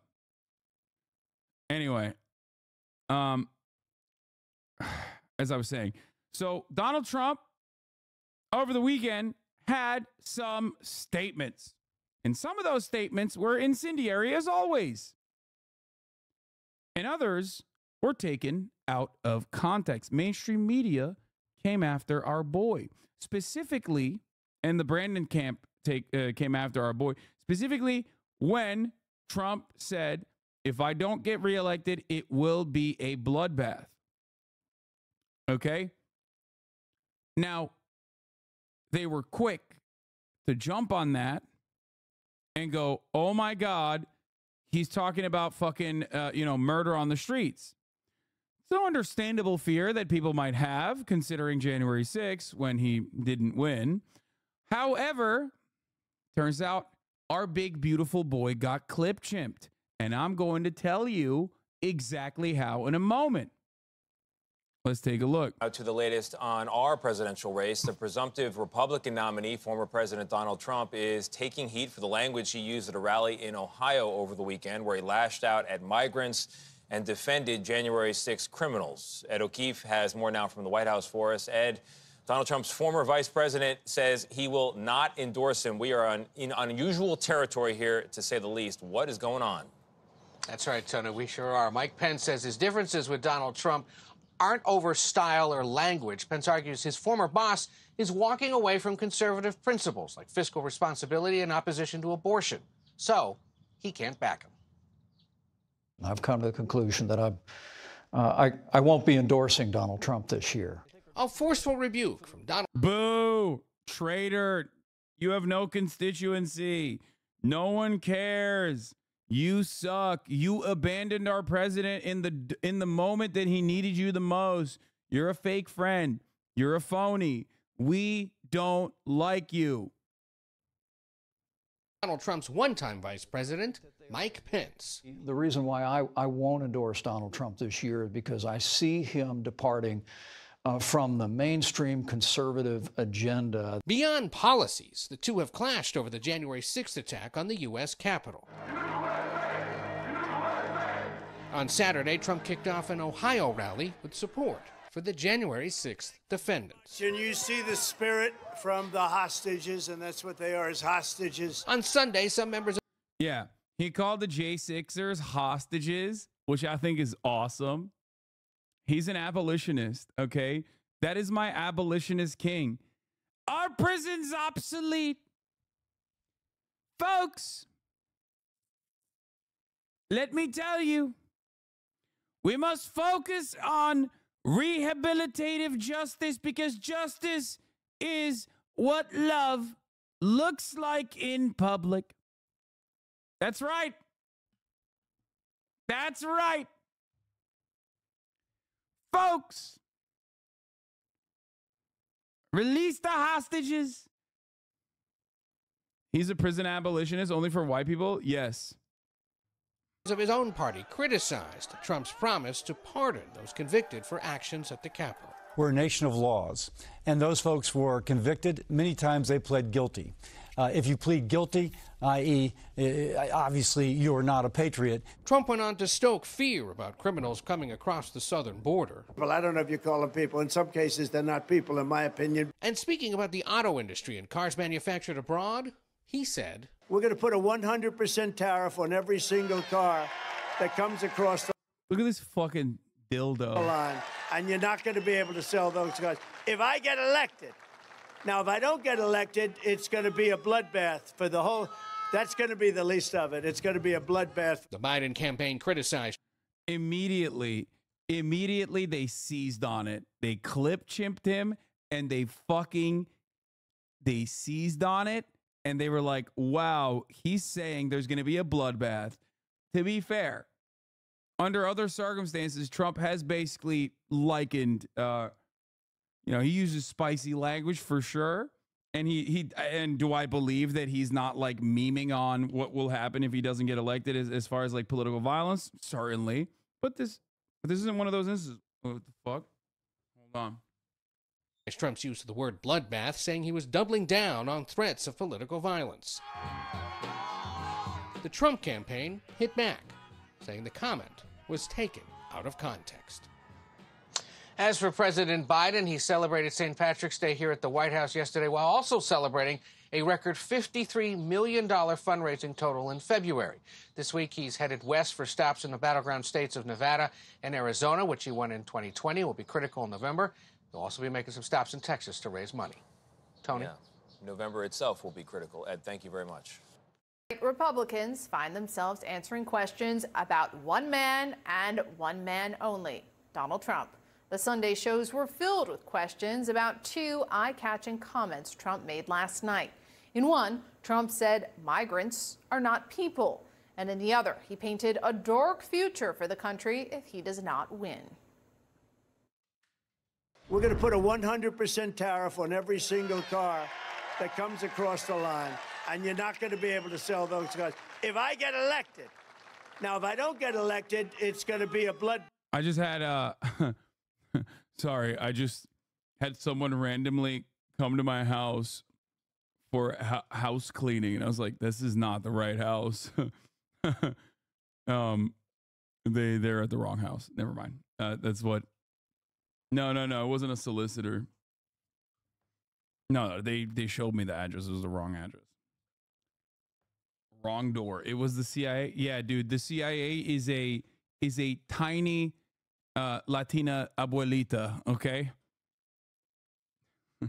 the CIA has many different methods.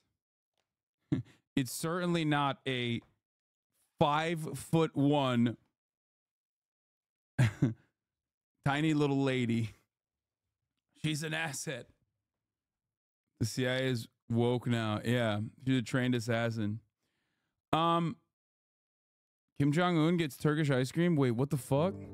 No, that's not actually Kim Jong Un. Shut the fuck up.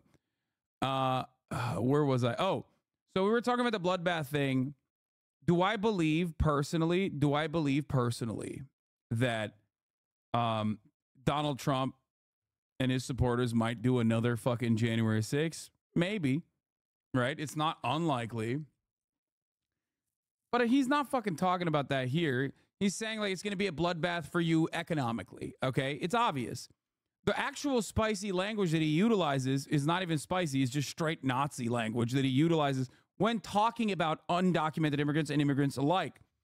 Where he basically fucking said in that same speech, moments prior to this, that like these guys aren't human.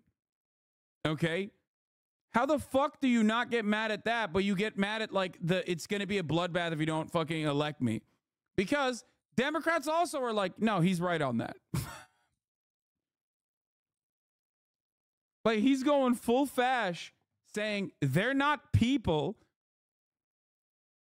And the Democrats are like, I can't believe he said it's going to be a bloodbath if we if he's not elected, uh, you know, because of the EV tariffs. It's very frustrating Okay? It's very, very, very, very frustrating.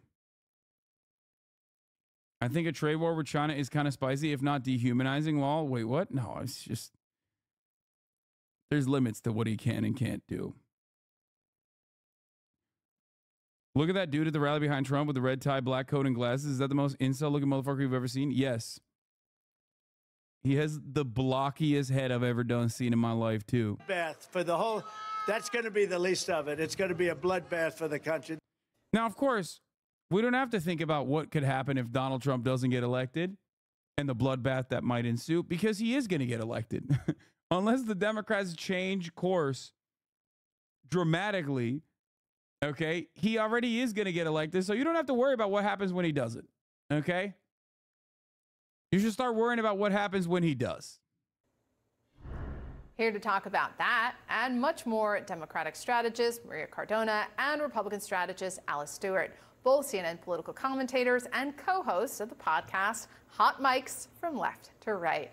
Thank you for being with us. All right, Alice, I want to. Damn, bro, they get podcasts up there, but I'm not up there. Get the fuck out of here, CNN. Uh, Ryan Grim and Aaron Rupar went to war over this clip. Oh, this is funny. So, do I have the straight? Trump said if he's not elected and we don't put tariffs on Chinese EVs, there will be a bloodbath in the auto industry, and that's reported as him saying there will be a general bloodbath. Headline writers: Don't outsmart yourself. Just do. Trump promises bloodbath if he doesn't win election. No, you don't have that right, but that's very on brand for you. So that's not what he said. I heard it in the clip. That's what it sounded like he said. I don't like Trump, but pretty sure Ryan got it right when in what he said. Nope, when he says it'll be the least of it, he's referring to cars. The bloodbath of the whole country is not about cars. This is awesome. This is a perfect, this is a perfect rehashing of 2016. Trump says something purposely incendiary. Liberals don't just like focus on all the other incendiary shit that he said that's like directly tangible policies. Liberals jump the gun and say, see, he used the term bloodbath. He means like they're going to do J6 style bloodbath.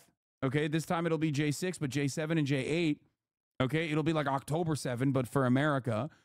And then Trump and his supporters go, oh, fake news. That's not what he was saying because it literally wasn't what he was saying in that situation. And the irony, of course, is that he has basically said, he has basically said that, you know, there will obviously be moments like uh, of political violence on numerous other occasions so, like, liberals feel galvanized in defending that position. They feel like they, of course, he's going to fucking, uh, of course, he's going to do political violence. He said it many, many times over, right? And then we we consistently get like all those fucking moderates to be more polarized that were already like begging to fucking vote for Trump anyway. They were looking for any out and uh, rehash the 2016 cycle over and over again. Hyper focus on Donald Trump's incendiary statements in the wrong ways Okay. Hi- hyper focus on Trump's incendiary statements, not the actual ones that are like tangible and and reflect his his policy uh, uh, outlook. Okay. And then we have a semantics conversation over and over again.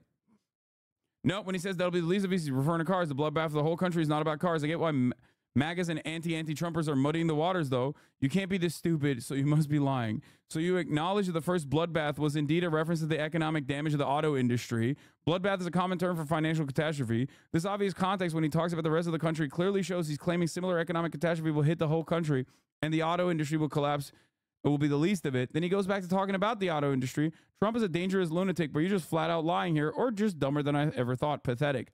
Ryan, He's saying that if he loses, there will be a bloodbath and the auto industry will be the least of it. It doesn't take a genius to listen to the clip and figure that out, but I'll leave the tortured anti anti Trumpism to you. It's your specialty. It is impossible to listen to or like the notion that we have to have like a separate category for anti anti Trumpism is so dumb because Ryan is not pro Trump. I am not pro Trump. Ryan, in in this instance especially so, is just simply pro truth. You are saying you don't want to say that. You don't want to say that like uh you're you're actually reading the fucking statement. Okay? You're reading the statement as it's intended. Uh and and that is like because you you know don't want this to be weaponized by the trumpets, okay? And immediately that's like, well, you must be a trumpet yourself, but we know that you're not a trumpet, so we'll just claim that you're anti anti Trump. It's very stupid. You can interpret it both ways. I agree with your point, but there's no truth. No, the point is Trump has already talked about political violence time and time again. Trump has also led to political violence. He literally talks about the January 6 prisoners that went to jail for doing an insurrection as hostages. It is clear how he feels about political violence. He is on board with it. Okay? He's on board with political violence. You don't have to fucking manufacture an additional narrative off of something that he can very easily defend. It is so stupid. It is so goddamn stupid. And to present people like Ryan, especially, as like anti anti Trump, as though they don't, uh, as though they specifically hate, like as though they are the real centrists here, is idiotic. What at what did Asmongold say? Yeah, exactly. It's the it's the Asmongold quote about you know people making up shit about me. If what I say is so bad, why make up shit? Except in this circumstance, Trump does say, does say a lot of bad shit. So you don't have to fucking look that far. And then have the media narrative be driven by did he or did he not mean that there's going to be political violence, especially when there will be political violence and he will definitely say that there should be political violence down the line anyway. That's why it's so stupid. It doesn't make any sense. It is impossible to listen to that or read it and think he meant anything other than financial bloodbath. You think by lying like this, you're helping Biden, but the irony is that you are the one here, not me, that is actually giving Trump a boost. I 100% agree with this, by the way. You're further discrediting legitimate criticism of him and insulting the intelligence of people who can watch the clip themselves and speak the English language. You are helping Trump and hurting Biden, the very opposite of your intent. Yeah. Oh my God, I can't even fucking type beautiful. The liberal hysterics and cope at their finest. Biden is cooked and they're grasping bi- gas, grasping blindly in the dark for anything. Yeah. Yeah. By the way, hey guys, Donald Trump actually did use Hitlerian language in that in that conversation, in that speech. My favorite Aaron tweet of as of late. Fair warning right now that I'm going to have no fucks to give this election cycle. The choice between democracy and authoritarianism, sanity and insanity. I'm going to call out anybody who obscures that very clear and vital distinction. It's all on the line. Yeah. He's, dude, Aaron is going to make you wear the latex cuck suit, okay? This time, tonight is different. He's not wearing the latex suit. You are. You better not come after our boy Brandon or democracy. I love Aaron. He's great. This variety article is pretty wild. More than 450 Jewish creatives, executives, and Hollywood professionals have signed an open letter denouncing Jonathan Glazer's Zone of Interest Oscar speech. Nice, guys. Good stuff. Let's see. Debra Messing, Tova Feldshuh, executives Gary Barber, Gail Berman, Amy Pascal, creators Amy Sherman Palladino, directors Eli Roth, Rod Lurie, producers Lawrence Bender, Hawk Cock. What the fuck? Hawk Cock? That's crazy. Sherry Lansing and representatives UTA's Jake Fenton, Gersh's Jeffrey Greenberg, attorney Craig Emanuel. That was a man, a real, the real hoi polloi, high society, real, real big names out here. Okay. producers you've never heard of except for the ones that happen to be bankrolling some of these movies. They are really mad at Jonathan Glazer, okay? the Jabroni League. Yeah. A real who's who of annoying libs. Eli Roth is the only fucking name I recognize. Uh, the group statement says we refute our Jewishness being hijacked for the purpose of drawing a moral equivalence be- between a Nazi regime that sought to exterminate a race of people and an Israeli nation that seeks to avert its own extermination. Glazer declined to comment with such high profile co signees as Jennifer uh, Jason Leigh, La La Land producer Gary Gilbert, and the America's creators Joe Fields and Joe uh, Weisberg. The statement adds the use of words like occupation to describe an indigenous Jewish people.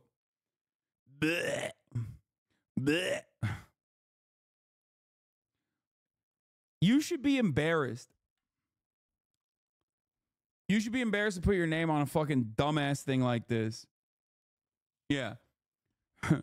Israel needs to defend itself by killing Palestinian children. Jonathan Glazer, please stop saying that that is not a good defense of Israel. Killing Palestinian children is exactly how we're going to defend ourselves, and we must defend ourselves. Okay? The Lala producer guy was the one who helped screen the October 7 footage here. Eli Roth was the bear Jew in Inglourious Basterds. Yeah, that that Eli Roth is the one that makes me a little sad. Like, I hate that. It's really fucking annoying. The use of words like occupation describe an indigenous Jewish people defending a homeland that dates back thousands of years and has been recognized as a state by the United Nations distorts history. It gives credence to the modern blood libel that fuels a growing anti-Jewish hatred around the world in the United States and in Hollywood. Bro, they're saying it's blood libel. They're saying it's blood libel to say that like Israel should stop killing Palestinian children. No, blood libel is is a, a concept made up, okay, to justify atrocities committed against Jewish people. You cannot say it is blood libel when Israel, as a nation state, has killed a shit ton of children. Okay? That is crazy.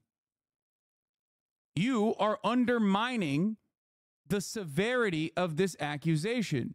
You are undermining the very real hate crime of anti Semitism by comparing it to something that is really happening. Okay?